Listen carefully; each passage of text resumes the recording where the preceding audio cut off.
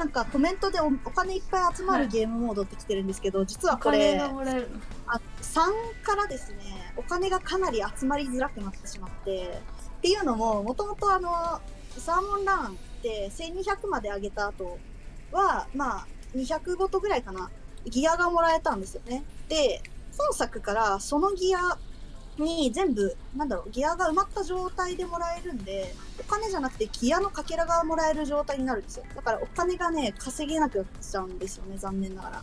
今まではなんかギアとお金と交換できたんでかなりお金が稼げてたんですけどね。はい。終わった？っていう。あ大丈夫？ああありがとうございます。えっとギギアがもらえる。ギアあのさお洋服とか帽子とかあ靴がもらえるんだよ、ねうんバッうんて取ってもらえるんだけど、なるほど服がもらえるとそうそうそうそうなるほどなるほど帽子がもらえるよ帽子あ頑張って働こうねまあ、頑張って働くと服が買える。ああ、現実的世界と同じ。そうそうそうなるほど。ああ、理解。ありがとう。なるほどね。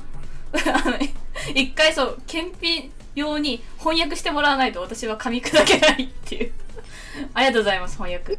じゃあサーモンランのあのクマさん紹介の方に来てもらって、なんだって？クマクマさんクマさんの方に来てください。集合。えっとイカゲームにはクマさんがいるんですか？はい。メニュー開いて、はい。まあ、一番下かな？クマさん紹介ってあるでしょ？ああ本当だ。クマいるの？それそれえクマいるんだ。あ、あーなんだお前